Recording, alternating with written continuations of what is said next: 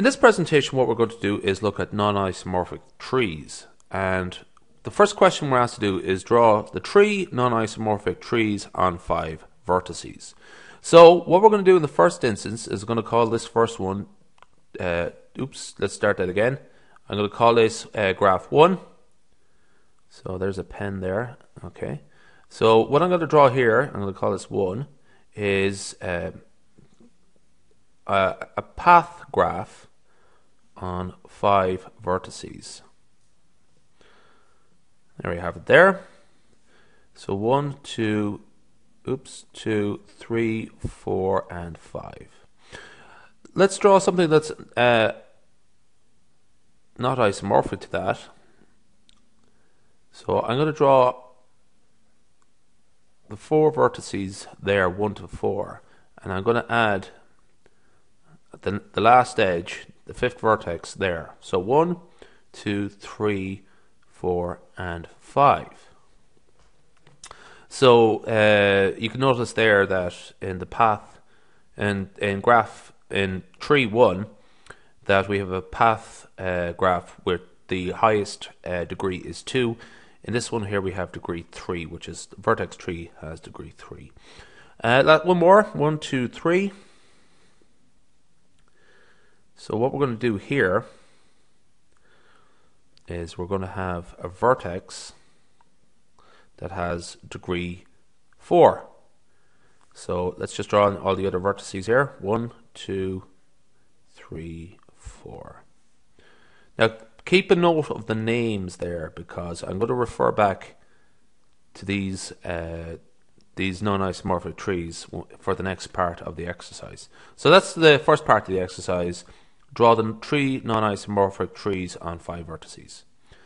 Uh, just as a quick remark, I'm not going to do it now as part of this exercise, but what you should be able to find is that the sum of the degree sequence in each case is 8. Uh, the reason being that's a sort of important, um, that's an important uh, characteristic of uh, trees. Now, moving on to the next part, Draw on a separate diagram all of the non-isomorphic trees on six vertices by adding a vertex to copies of the trees you've already drawn. So what I'm going to do in the first instance is I'm actually going to draw out graph 1, tree 1 again. And that was simply a path graph. And what I'm going to do, and just importantly, that was on five vertices. So essentially what I'm going to do is, uh, for six vertices, I'm going to come up with some non-isomorphic graphs based on uh, tree 1 just by adding a, a, an edge and a vertex. So I'm going to call these I'm going to call these this series A. So the first one is called A. So basically draw out our graph again. Our our non-isomorphic tree 1. So one, two, three, four, five. What I'm going to do in this instance is I am going to uh, add another vertex. Just continue with the design of a path graph. There we are. Just add an, an extra vertex. So that's the first one we could do. Next one, B. Uh, let's just draw out the fundamental structure of it, which is tree 1. 1, 2, 3, 4, 5.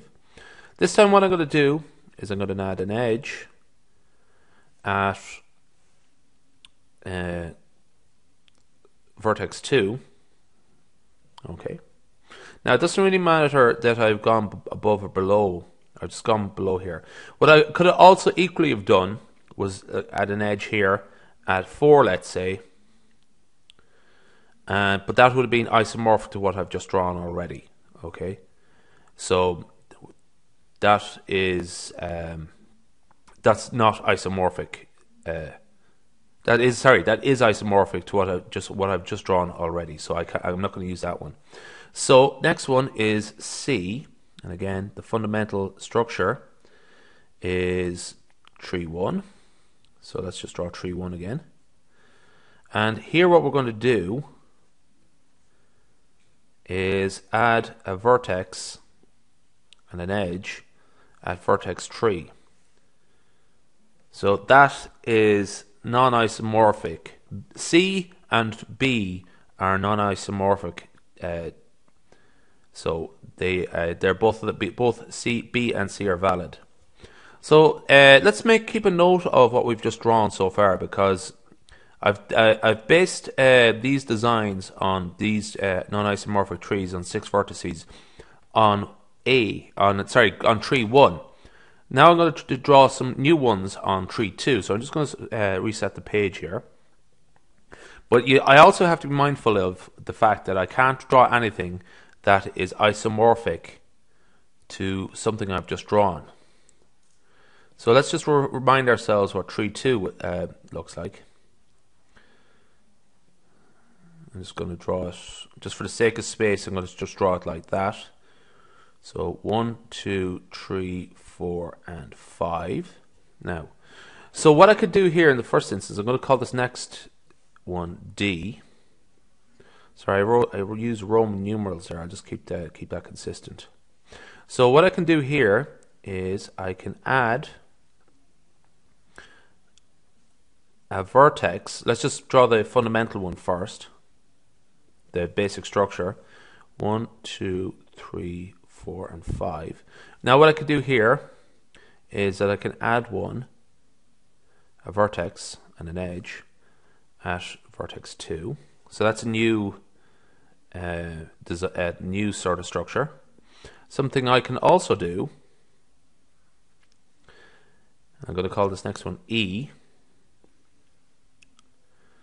is uh, draw, add an extra vertex at 3.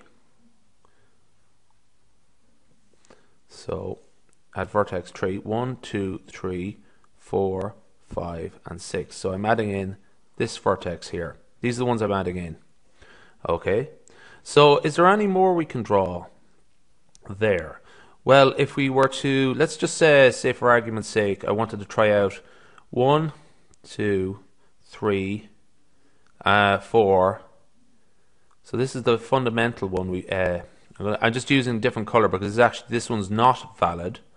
One, two, three, four, five. So suppose I was to add something here like this. Uh, what happens here is this is not valid because this is isomorphic to something we've already drawn. This is actually isomorphic to C, something we've already drawn. Uh, likewise, um, you can sort of pick out a few other ones there. If we were to add a uh, uh, something like this instead. Uh, draw it out here.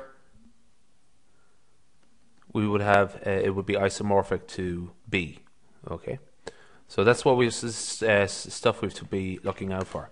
So there's one more to draw, and I'm just gonna. this is our the designs based on. This design would be based on graph 3, which was simply looked simply like that.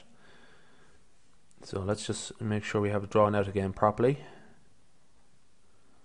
So 3, 1, 2, 4, and 5. So I'm going to call this design F.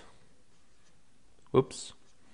And essentially what we're going to do is just add another vertex to that design there. So uh, we have one, two, three, four, five, and six. So let's just put the, put the numbers in one, two, three, four, five, and six. And this is graph F. Okay, and that's not isomorphic to anything we've drawn previously. The reason you can what can what sort of stands out there is that we have a degree five vertex there. So uh, I've sort of gone very quickly through it, um, but what would be required is just to sort of, and also what would help is to have it all done on the same page that you can sort of see all of the six vertex uh, trees all together, and you can sort of spot that they would be uh, isomorphic to each other or non-isomorphic as as needs be. So that ends our presentation.